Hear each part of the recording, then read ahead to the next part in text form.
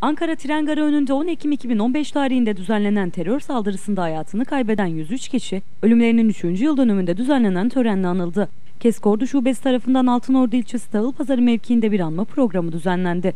Düzenlenen programda 10 Ekim'de hayatlarını kaybedenler anıldı. Anma programında konuşan KES dönem sözcüsü Ferit Ceylan, yaşanan büyük katliamın acısının yürekleri yakmayı sürdürdüğünü ifade etti. 10 Ekim 2015'te Ankara Garı önünde gerçekleşen katliamın 3. yıl dönümünde kaybettiğimiz bütün arkadaşlarımızı saygı ve özlemle anıyoruz.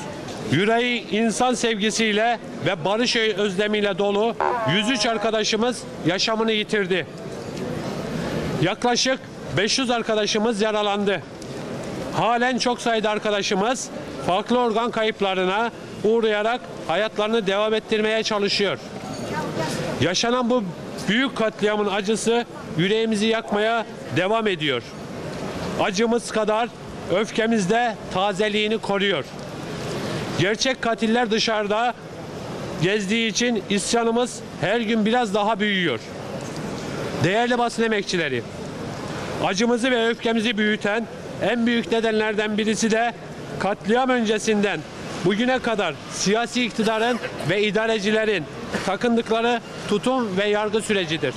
Ankara 4. Ağır Ceza Mahkemesi'nin 3 Ağustos günü 10 Ekim Ankara katliamı davasında kararını açıkladığını belirten Ceylan bu olayla ilgili olarak yargının tutumuna tepki gösterdi. Ankara 4. Ağır Ceza Mahkemesi 3 Ağustos günü 10 Ekim Ankara katliamı davasında kararını açıkladı.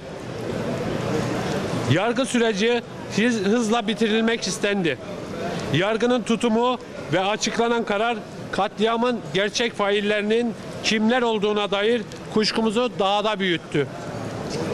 Duruşmalarda yaşananlara siyasi iktidarın ve mahkemenin tavrına bakıldığında davanın birkaç tetikçinin yardım ve yataklık edenlerin çeşitli cezalarla sonuçlandırılması üzerine kurgulandığı anlaşılmaktadır.